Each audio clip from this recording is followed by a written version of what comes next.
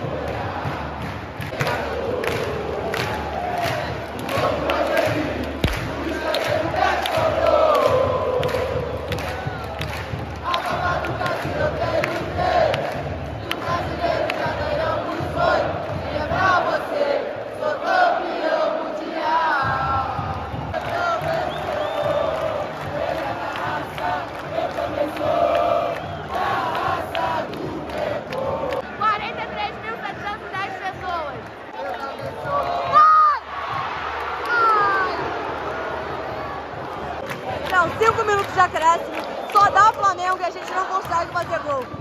Que segundo tempo é esse? Meu Deus, mais um de acréscimo. Ele é da raça, eu também sou da raça do Mengo.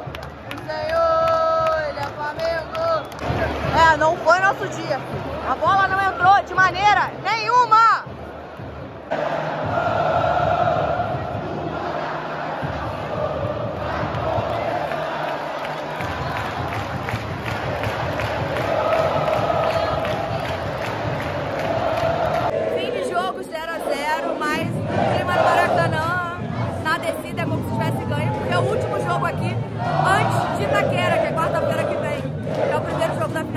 Brasil. Sábado o Flamengo joga em Cuiabá.